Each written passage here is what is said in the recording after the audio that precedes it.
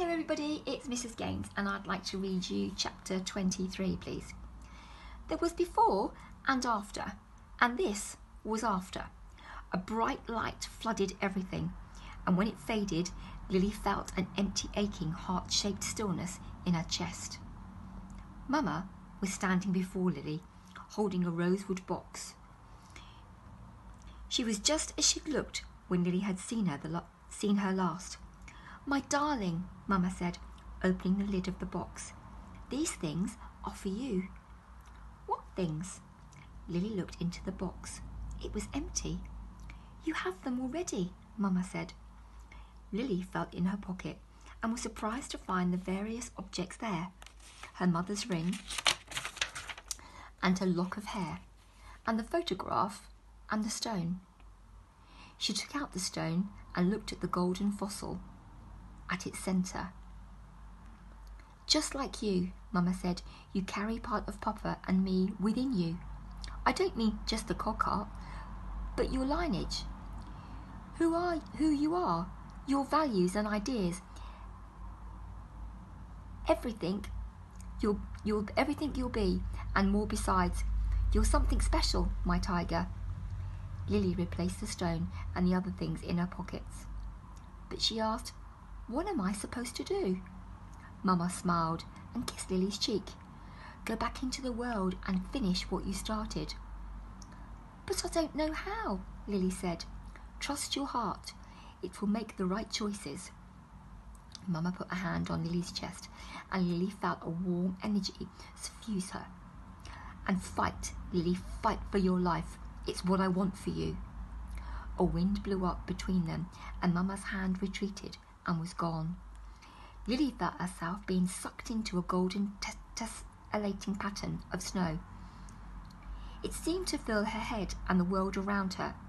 Then she heard a sound, a sound that made one persistent, precise, needle sharp noise. Tick, tick, tick. The beat of the clockwork fighting to keep pumping, fighting through the damage done, fighting to keep its cogs turning, fighting to keep her alive. With a hacking cough and a splutter, Lily opened her eyes, and she was greeted by a mist of sameness. She recognized nothing. None of the forms around her seemed familiar, and she couldn't even separate from one, one, one another. Then gradually they came into focus her head lolled against a pillow. She was being wheeled on a stretcher along a corridor of an airship, Beaumont, with Papa walking, walking bound at her side. You're all right, he whispered. The perpetual mo motion machine is still working, thank heavens. Lily nodded woozily. She was certain now all this had occurred before. Portholes dotted the walls, and through the gl glinting glass she could make out the blue-grey waters of the Thames, the snake-like soul of the city.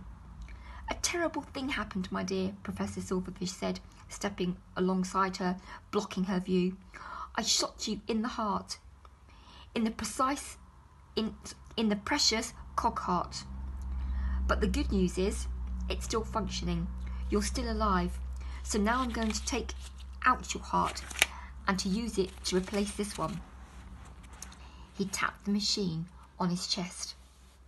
After all, I need my upgrade machine. Professor Silverfish laughed. How does that sound?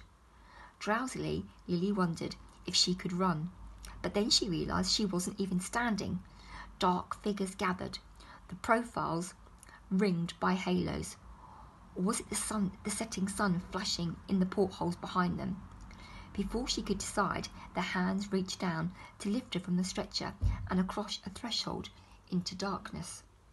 Clouds streamed past Robert in streaks of grey and pink.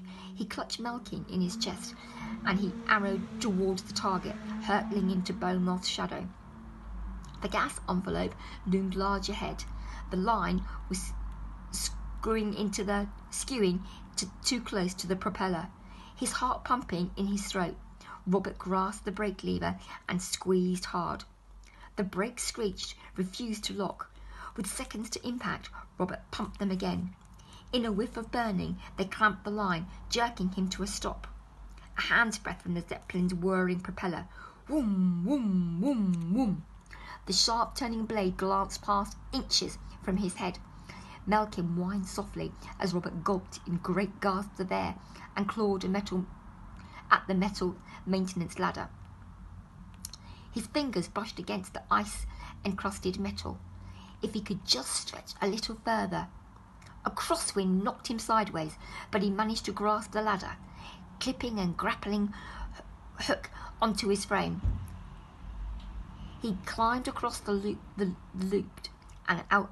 Sorry, he climbed across and looped an elbow over the prop support strut, just as the storm finally hit.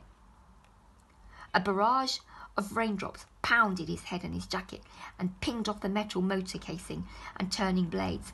Robert felt in his ja- jacket pocket beneath the lump of the, the lump of the fox for his penknife. He cut his slide rope loose and it fell away into the grey abyss beneath with a noise like a flailing whip. Under the whoosh of the prop blades and the tapping of the rain, he thought he could just make out a putter of Ladybird's engines. He glanced over his shoulder and glimpsed downwind, banking away. The broken shards